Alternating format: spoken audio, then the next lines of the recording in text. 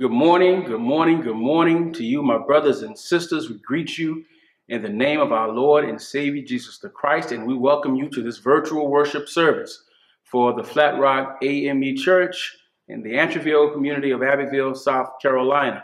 I am Adam L. China. I am the newly appointed pastor of Flat Rock AME Church, and I consider it an honor to be here, and an honor to serve you, and we are praying that God will bless each and every one of us as uh, we begin our journey together in building up the kingdom of God.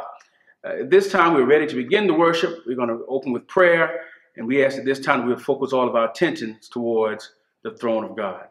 Let us pray together. O oh Lord our God, how excellent is your name in all the earth. We come to you this morning first to say thank you before because before we ask you for anything, we want to first say thank you for everything. Thank you, Lord, for allowing us to see another day, a day that you have made, and therefore we are rejoicing and we are glad in it. We thank you, God, for last night's slumber and for this morning's rising. Lord, we thank you for your Son, Jesus, who is our Savior, our mediator, our Redeemer, and our advocate. We thank you, Lord, for your Holy Spirit, who is our comforter and our guide. Now, God, uh, we thank you for the Flat Rock Church family. We thank you for every person who is viewing this worship experience this morning or listening on the conference call line. We pray, oh God, that your Holy Spirit would saturate our hearts. Lord, saturate the sanctuary, saturate our homes, saturate our Wi Fi signals, our computers, our telephone lines, and Lord, above all, put us in tune with you. Now, Lord, move as only you can through the preaching of your word. I avail myself to you. We pray, oh God, that you would open every ear that your word is heard, touch every mind that your word is understood, open and touch every heart that every word, that your word is accepted and believed. And Lord, touch this, my tongue, that your word might be proclaimed. And we pray, Lord, that your word would save, deliver, and set free. And above all, Lord, we pray for not so much for a good sermon, but for a sermon that would do us some good. So, Lord, let the Spirit of the living God fall fresh on us now. Let the words of my mouth bring you praise, and the words that I speak be seasoned with your love and grace. This we ask in the name of your Son and our Savior, Jesus the Christ. Amen. For the next uh, portion of this service, we want to call your attention to the scripture reading and the text for the sermon this morning. We want to call your attention to the Matthew's Gospel, the 11th chapter. Matthew chapter 11, verses 2 through verse number 5. Matthew chapter 11, beginning at the second verse and reading through the fifth verse. And the King James Version reads this way. Now, when John had heard in the prison the works of Christ, he sent two of his disciples and said unto them, Art thou he that should come, or do we look for another? Jesus answered and said unto them, Go and show John again those things which ye do hear and see. The blind receive their sight, and the lame walk, and the lepers are cleansed, and the deaf hear, and the dead are raised up, and the poor have the gospel preached unto them. They asked the question Are you the one that should come, or should we look for someone else? And Jesus told them, Go and tell John what you've seen and what you've heard. For the next few minutes, we ask that you would pray with us and pray for us. Want to speak to you simply from this subject an impressive resume. An impressive resume. Um, if you're like me, uh, you're probably really glad that the uh, election is over. Uh, you're glad that we don't have to see any more uh, ads or commercials. We don't have to see any more debates. We don't have to uh, have text messages from candidates, them calling your house with robocalls, campaigning and soliciting your vote for uh, different offices. Now, I understand right now we have a, we still have not seated the president. Right now, we know there's there are court challenges, even though there's a clear winner in this past election. Uh, but at the same time, at least the campaigning is over. And what I've noticed is that those who are campaigning all uh, would offer unto you everything that they've done. They gave you a list of things they had done because they wanted you to see what they had done because I was always taught that if I want to know what you will do, in many cases, all I have to do is look at what you have already done. And so they would share with you uh, different ways they've served, the impacts they've made in their communities and so forth, all because they want you to choose them. Even now uh, in Georgia, they, they have uh, runoffs for their Senate seats. And now, even this morning, I listened to uh, one of the candidates for the senator's uh, seat uh, talking about his own resume, resume and telling you what he had done and how hardworking he is. And he may very well be. Uh, there were those even in the presidential election who talked about everything that they could do. Everybody wanted to put their resumes up against others to show you why they were the ones that should be chosen. I would offer unto you, my brothers and my sisters, that while we need resumes and they do give us, they give a detailed history of our work and what we have done, our accomplishments, that's wonderful because when you go to apply for a job, they will almost always ask for a resume. The resume tells them everything they need to know about you. And unfortunately, unfortunately, there are those who have fluffed up their resume. I don't want to say lie, but they added to it more than it really was because it made them seem more impressive. But I would offer unto you, my brothers and sisters, at the end of the day, you can put anything you want to on the paper, but word of mouth carries you farther than anyone else. You need references who can speak on your behalf to, to solidify or to verify what is on your resume. Well, now we have finished in the United States. The elections are pretty much over except for a few runoffs. We know there are court challenges for the office of presidency, but I would offer unto you that it does not matter who you voted for just over a week ago, uh, almost two weeks ago. None of that matters as much as who you choose to be the Lord of your life. Uh, I want to offer unto you, my brothers and sisters, that you and I need Jesus the Christ to be our Lord and our leader because he is the one who has the most impressive resume. Uh, he is, he came from royalty. He was the son of God. He is the son of God. We know he, he's, he has, he's been with God from the beginning and therefore he knows and he has seen all there is to know about us. He is the most powerful one in the universe, the most powerful being that has ever walked the face of the earth. Not because he had a position, but because his resume suggested he had the power to do whatever we needed done. And so with that in mind, when we look at our text in the 11th chapter of Matthew, we find Jesus really has just assembled his 12 disciples. It is in chapter 10 of Matthew where we see that Jesus commissions his 12 disciples along with other disciples and he sends them out into the world to go and spread the good news, which is the gospel that the Lord has come and that he has come to restore Israel, not so much in a social way or in, a, in, a, in, in an economic way or in a military sense, but he has come to restore the soul of Israel. We heard uh, President-elect Joe Biden talking about how he was running because he wanted to uh, help to, to reestablish or help to preserve the soul of these United States. Well, Jesus came years ago to preserve the soul of his people and all who would believe in him. Oh, if we read in the text, we find in chapter 10, Jesus calls them the 12 along with others and he sends them out to spread the message. And they come back and they let Jesus know all the things that they have done, that they let it be known that even the demons had to fear when we spoke to them. And Jesus lets the disciples know, don't celebrate what you have done. Celebrate the fact that I chose you and used you to do my will. My brothers and sisters, don't ever get so caught up in who you think you are or your own resume that you think it's you. You ought to say, God, I thank you for calling me and I thank you for using me to do your will. Oh, with the text we find in chapter 11 now that Jesus' cousin John the Baptist is now in prison. John, if you read the scriptures, you will see that he was the older cousin of Jesus. As a matter of fact, John's mother, Elizabeth, was pregnant at the same time that Jesus' mother, Mary, was pregnant. And, and the scriptures let us know that even when they came in contact, both of the babies started leaping in their wombs because they could feel the Spirit of God in each one of them. And it's something about being around people who are filled with God's Spirit, especially when you are filled with God's Spirit. Because, and I, and I just pray that when we get together for worship, that, that if I come filled and you come filled, I believe the Lord will show up and we have a good time worshiping his holy name.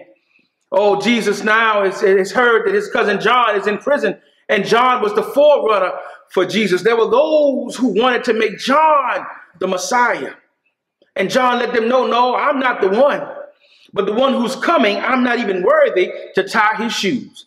Even in the church, is I don't care how long you've been a member of Flat Rock. I don't care how long you've been a member of whatever church you're a member of. I don't care how long you've been preaching or you've been pastoring. Understand it's never been about you. And don't ever allow people to put you on such a pedestal that you block Jesus out. Oh, Jesus goes on. As he now hears that his cousin John is in prison, the Bible says that John sends two of his own disciples who are following him and tells them, Go to meet this man named Jesus. Even though John was in prison, he heard what Jesus was doing for others. He heard about the miracles Jesus was working. He heard about all the works of the Lord. And he said, Go and find out if this is the one we've been looking for, or should we look for somebody else? Oh, if you keep reading, you'll find that when they come to Jesus, Jesus tells them, I tell you what, I'm not going to tell you I'm the one. Just check out my resume. You'll see on my resume all that I've done, and that ought to let you know who I am. Well, I offer unto you that Jesus says, just go tell John that the lame walk. Tell him that the deaf can now hear. Tell him that the dead have been raised up. Tell him that the poor are now hearing the word of God. Tell John what I have done. And so Jesus, after saying that, he tells him, y'all go back and let him know and decide for yourself if I'm the one you're looking for. Well, as I get, and I'm, I'm coming close to the end, but if you look at a resume, it has usually at least three things on it. First and foremost, the, your resume usually has your educational background, what schools you went to, where you graduated from, and so forth. But I would offer you that if we were to look at the resume of Jesus the Christ, we would find a few things. First off, he was taught by the best. God the Father. He had never been to meteorology school, but he was a meteorologist because he spoke to the wind and the waves and said, Peace, be still. Well, he was never an oceanographer, but yet he spoke to the seas and told the seas to be still. He was not a mortician. He had never been to mortuary school, but he could look at a dead man and say, Get up. Look at a dead girl and say, Get up. Go to the grave of a man who'd been dead for four days and say, Come forth. Uh, he was not, he had never studied astronomy in school, but he watched God when God hung the sun and the moon and the stars and the sky, so much so that he was named an honorary student because we called him the bright and the morning star. I would offer unto you that you can go to school and your education is wonderful, but there's nobody that knows everything except the Lord Jesus the Christ. Oh, second secondly, my brothers and sisters, your, your, your, your, your, your resume has your accomplishments in life, awards that you've won, uh, different things that you have accomplished in your life. Well, Jesus the Christ, if we were to look at his resume, we could find out a whole lot about it. What names and accolades could we give to Jesus?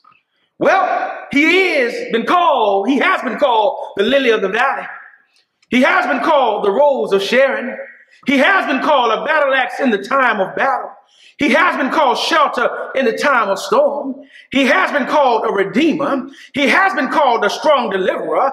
He has been called a strong tower. He has been called Mary's baby. He has been called the son of the living God. I would offer unto you that if you were to look at the resume of Jesus the Christ, you would see that he is well qualified to be the Lord of your life because of what he has accomplished. Who else could walk on water but Jesus? Who else could get up from the grave but Jesus? Who else could speak and rain down the glory of God but Jesus the Christ? If you want somebody in your life to lead you to believe in, I dare to call on Jesus because he's accomplished so much already. Finally, uh, what, what, do you find on a resume? You find your educational experience, uh, you find uh, your accomplishments, and any good resume ought to have some references. Somebody who can verify that you are who you say you are and that you've done what you said you've done. Well, Jesus told him, Go and ask the lame. That's what he said. Didn't I walk? Go and ask the blind, they now see. Go and ask the lepers, they're now cured.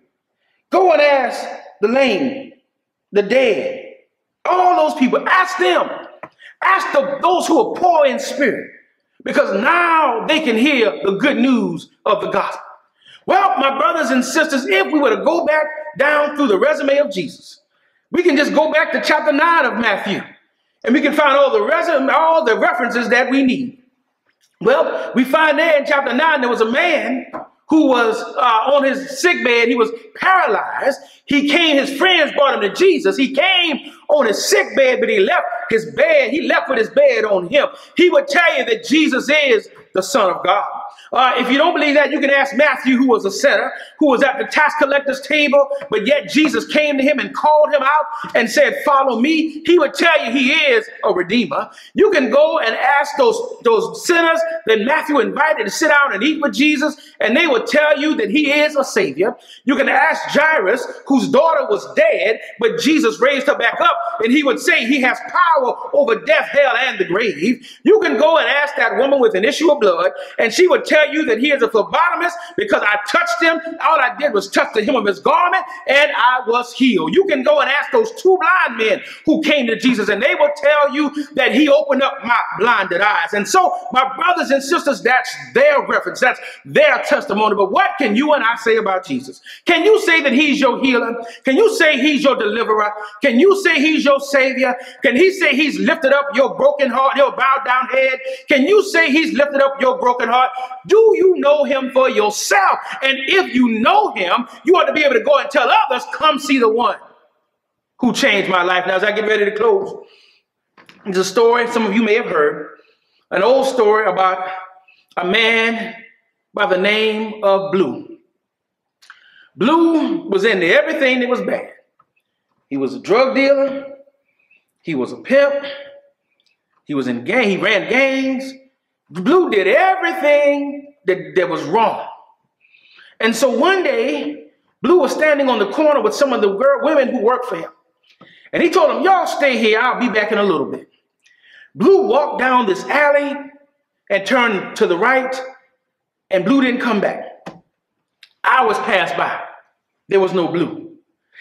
Days passed by, there was no Blue.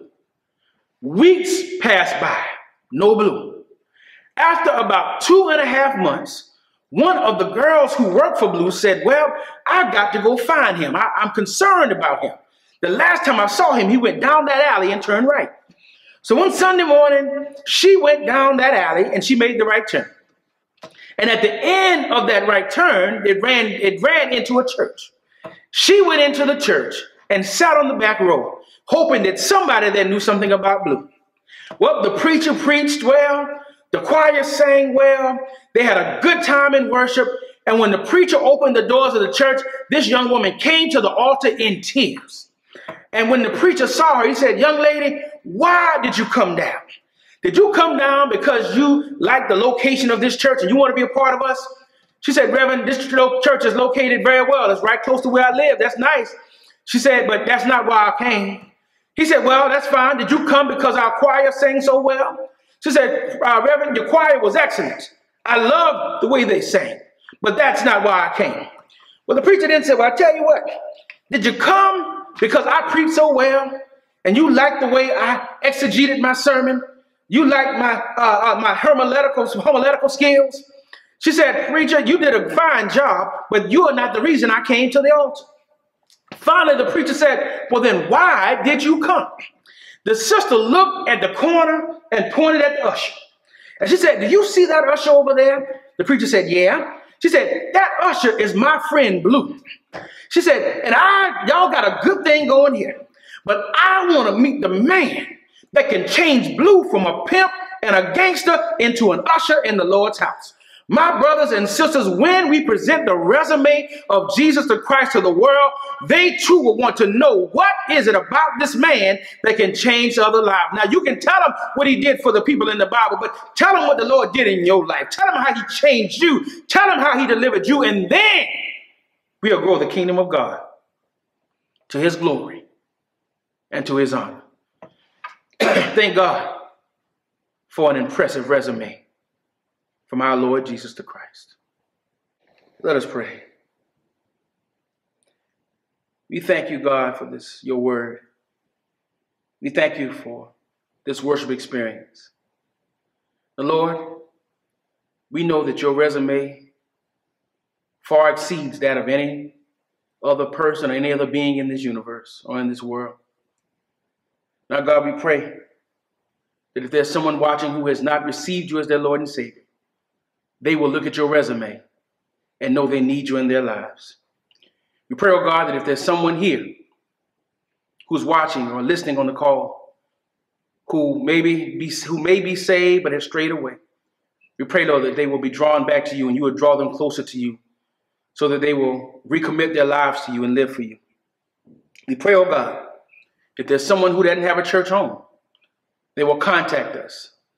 They will reach out to us and we can receive them here at Flat Rock. Bless, we pray.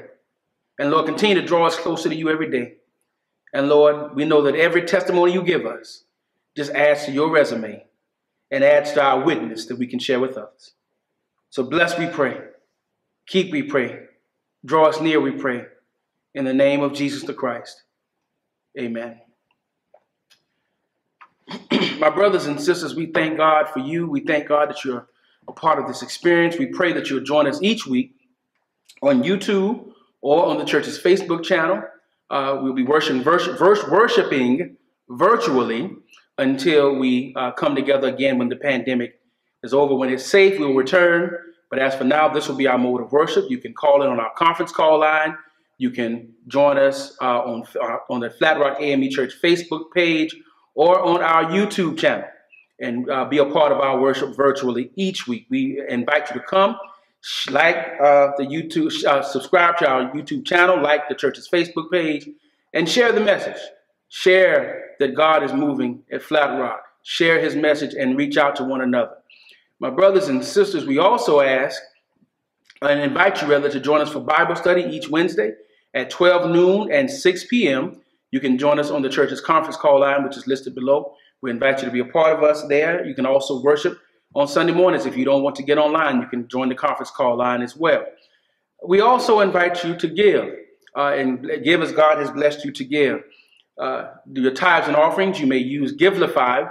And if you search Flat Rock AME Church, uh, you will see in Abbeville, South Carolina, you can give electronically. If you'd like to uh, drop your tithes off of the church, someone will be here from 10:30 until 12 p.m. Sunday morning, every Sunday morning, to receive the tithes and offerings. So uh, if you choose any way you choose to, we invite you to give as God has blessed you to give, and you'll find that those who give and trust God with their money, God blesses us exceedingly and abundantly more than we could ever ask or think. Your, your blessing does not, always, does not always come back in a financial sense, but God always blesses you with more than you could ever ask if you trust Him with what you give. So we thank God for you. I look forward to meeting you all. I look forward to working with you all. And we look forward to uh, uh, continuing to serve this community, serve God, and serve God's people. At this time, let us receive the benediction. And now unto him who is able to keep us from falling and to present us faultless before his presence with exceeding joy. To the only wise God, our Savior, be all glory, majesty, dominion, and power, both now and forever. Amen. Have a blessed week, everyone.